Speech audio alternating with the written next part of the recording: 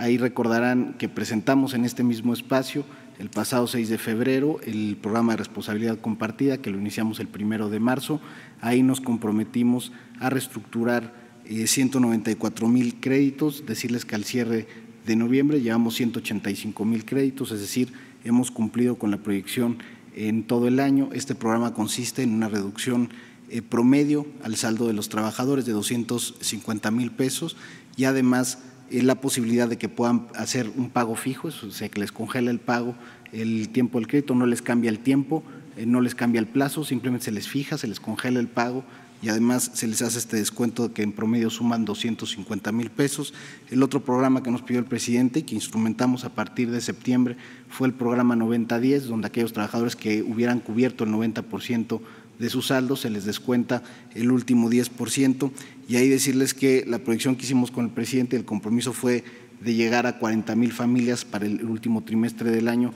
pero decirle, presidente, y eso creo que no lo habíamos dicho aquí públicamente, se llegó a 49 mil, precisamente porque muchas familias eh, llegaron y siguieron pagando. O sea, todos estos programas animan a la gente a pagar y a generar una cultura del buen pago. En total, solo por los dos programas que impulsamos eh, con esta administración y de la mano del presidente, se reestructuran 234 mil eh, créditos en el año, que es verdaderamente histórico en el instituto porque nunca había habido programas eh, de esta naturaleza y se suman a